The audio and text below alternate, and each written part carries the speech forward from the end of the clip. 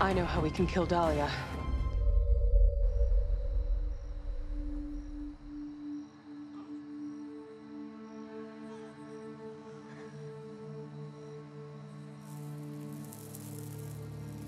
You're quiet.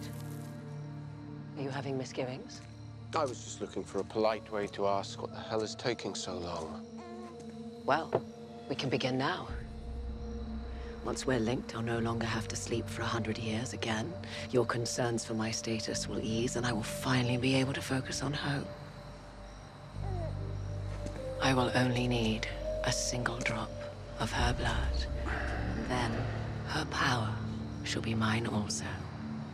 What do you want to do about Freya?